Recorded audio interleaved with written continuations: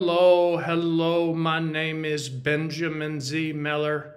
Benjamin Z. Miller, and I am the managing director of Alamo Mortgage Holdings. Alamo Mortgage Holdings is a UK company, a United Kingdom company, and we provide passive income, long term passive income to our investors. And we do this by purchasing long term debt in the United States. We purchase mortgages, packages of mortgages.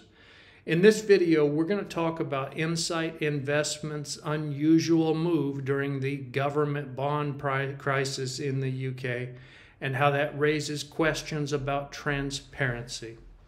First, please don't forget to like and subscribe for more content just like this video.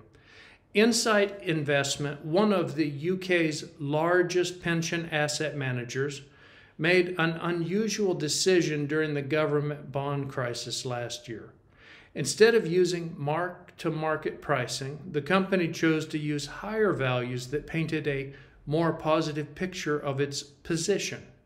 The decision was made during the September crisis, which was triggered by the then Prime Minister Liz Truss's mini budget. The liability driven investment industry, which serves defined benefit pension schemes suffered a severe blow due to the sharp fall in UK government bond prices following Truss's announcement of unfunded tax cuts. This 1.4 trillion pound sector, which is denominated by Insight, BlackRock, and legal and general investment management, was hit hard by the crisis. A vicious cycle emerged with drops in gilt prices, forcing LDI managers to sell more gilts to raise cash because their funds used leverage. Most LDI managers also marked down the value of their funds each day in line with plunging gilt prices. However, on the day the Bank of England introduced a rescue scheme, Insight disregarded market prices and set its own pushing its funds' net asset values per share higher, in some cases, significantly. The move by Insight to abandon mark to market pricing is highly unusual and has not been previously reported. The company's decision likely gave it an advantage in the marketplace by presenting a more positive picture of its position to investors. However, this move raises questions about transparency and the potential impact on investors who relied on accurate market pricing. The government bond crisis highlights the challenges faced by the pension industry, which is struggling to maintain returns in a low yield environment. Insight's decision may be an indication of the increasing pressure faced by pension asset managers to find new ways to maintain returns and protect investors' capital while also ensuring transparency in their operations.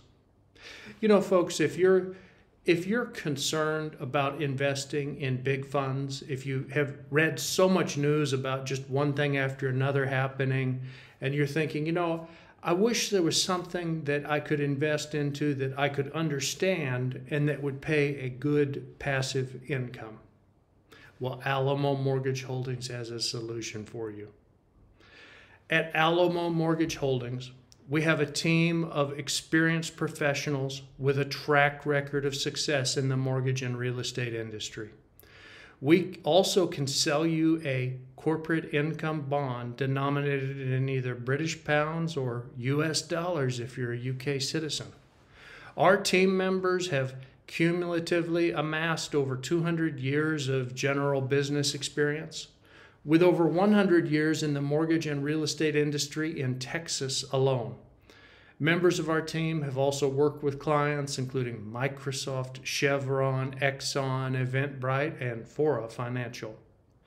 As a UK company, we specialize in purchasing mortgage notes in America and offering higher returns to our investors.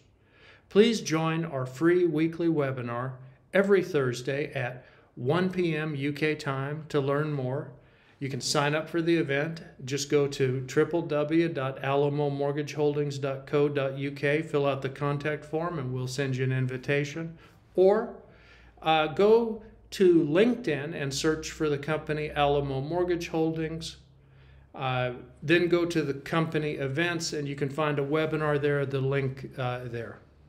Folks, if you learned something from this video, maybe share it with your friends. You might be able to help them also. I hope that helps and good luck with your investing.